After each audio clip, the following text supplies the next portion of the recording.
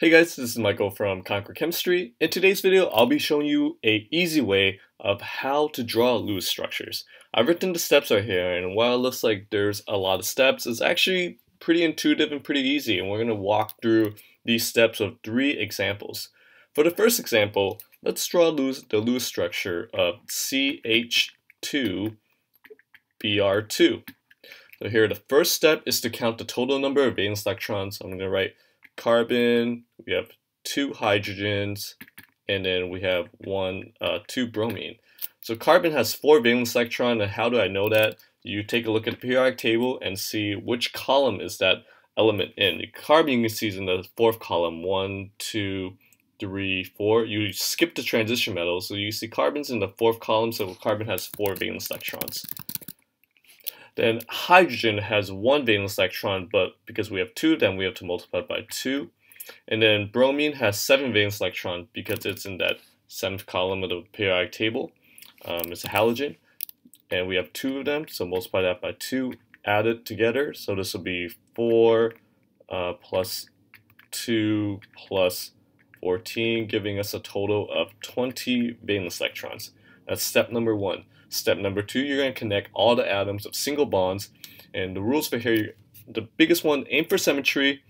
Um, usually that that will help you determine which one's going to be the, the central atom. Carbon, if there's presence, is always going to be in the middle. Hydrogen is always going to be terminal, which means it's going to be at the end. And then the least electronegative atom tends to be central. So if you're here, this one, CH2Br2, you see that we have a carbon, so we know that carbon is then going to be in the middle. And then we're going to put the rest of the, the remaining atoms around it. So we have hydrogen, hydrogen, bromine, and bromine. And it actually didn't doesn't really matter if I put the hydrogens directly across of each other or next to them. Um, the next, we're going to add in lone pairs such that every atom has an octet. Every atom that wants to have an octet has an octet. So carbon already currently has an octet. Octet just means it has eight valence electrons around it. You can see carbon um, already has eight because each of these bonds means two electrons. And you can say two, four, six, eight. Carbon already has eight. Bromine right here currently only has two because it only has um, one bond. So we have to put six electrons around it to make it so then it has eight electrons. This bromine also needs six. And then hydrogen is perfectly happy having two uh, valence electrons. So we don't need to put any, any more lone pairs on hydrogen. Then moving on to step number four, we're going to count the total number of electrons in the Lewis structure and compare that number to the one the number we got in step one. So we're going to count the total number of electrons here. We have 2, 4, 6, 8, 10, 12, 14, 16, 18, 20, and then match up the number we got here. We got 20. So because these numbers match up, then that means we're done, and this is the Lewis structure of CH2Br2. All right, let's uh, let's move on to another example where we actually have to use step five or step six. So the next example we're going to look at is HCN. First step, count the total number of valence electron, HCN and H one valence electron, carbon there's four valence electron, and then nitrogen there's five valence electrons. Add that together, we get a total of 10 valence electron. Then se second step, connect all atoms of single bonds. Again, we have carbon, so then we know that carbon is going to be in the middle, and then the hydrogen and the nitrogen we're just going to attach to the carbon of single bonds. Next step, add in lone pairs such that every atom that wants to have an octet has an octet. So carbon currently only has four, four electrons around it, we have to add two more to make it happy such that it has an octet. Nitrogen currently only has the two electrons on the bond around it right now, so we need to add three more to make it so it also has an octet. And the hydrogen's already happy because it has two valence electrons. Number four, count the total number of valence electron in the Lewis structure and compare it to the number from step one. So we have 2, 4, 6, 8, 10, 12, 14. So in this structure, we have 14 valence electron, but we're only supposed to have 10. So we have too many valence electrons, then that's where we start forming double bonds or triple bonds. And for this shortcut, the way to form the double bonds, say we want to form a double bond between the carbon and the nitrogen, then I have to erase a lone pair from each of those atoms before I can form a double bond. Then I'm going to recount 2, 4, 6, 8, 10, 12. So now I have 12, but I want to get to 10. So I still have too many, meaning I'm going to form another bond. So I'm going to erase another lone pair from the carbon and another one from the nitrogen to form the triple bond. And then after I do that, recount the number of electrons, 2, 4, 6, 8, 10, and that matches up. So then that's the final structure of HCN.